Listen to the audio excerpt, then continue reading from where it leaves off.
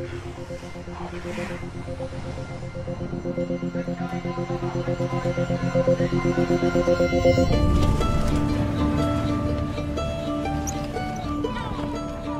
my name's Alan Halsey. I'm a musician, and I'm actually based here in Turkey. Seven years ago, I came on vacation and ended up just staying. It was kind of unplanned, but definitely a good part of the plot.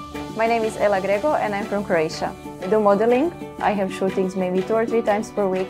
On my free time, I'm shooting vlogs, cooking videos, and uh, workout videos. My name is Adam McConnell.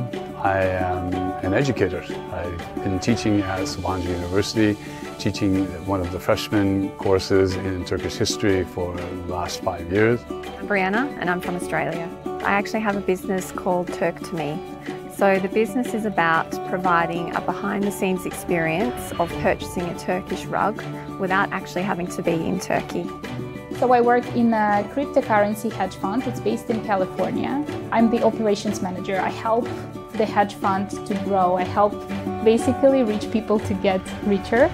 So for me, Istanbul's been a great base for the last eight-ish years, and I'm a photojournalist, so there's a lot of work to do in Turkey and in Istanbul itself. There's a lot of things to cover.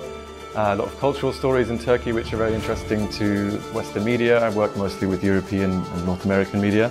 And I use Istanbul as a base to kind of go and cover the Balkans, Middle Eastern countries and the Caucasus.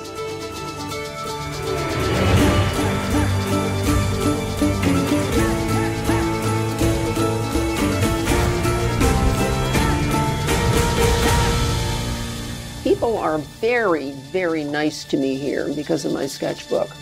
I, uh, I draw, you know, I draw the country and I draw the people. This is from Ephesus. This is a drawing I started in 2017 and forgot, so I finished it up when I was there last.